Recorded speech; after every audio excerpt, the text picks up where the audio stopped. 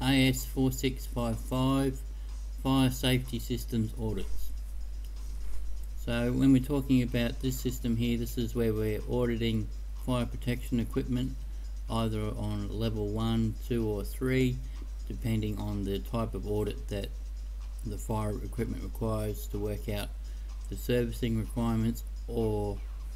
what requirements of the building's specifications that are required which have been either set by council or to maintain the current specifications of the building that's um, currently managed. So if we look at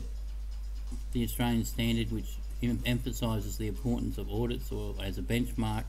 as an auditing tool to look after the, the building to keep it at its optimum operating conditions. So with any quality management system we need to have a manual in place with procedures and forms so we know there's a, a standardized approach to audit the, the fire equipment against the standards to make sure that they'll be effective in the event of a fire.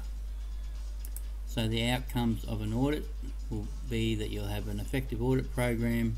you'll have audit schedule on the basis of risks on the importance of these processes. We need to have an effective audit checklist. We also need to re review and follow up the corrective actions that have been raised and table them at a management review meeting for action for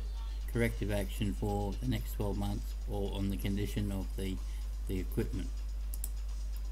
So you can either contact Sydney or myself and we can help you in the right direction to either conduct an audit or to offer some services which will be able to help you manage your building more effectively.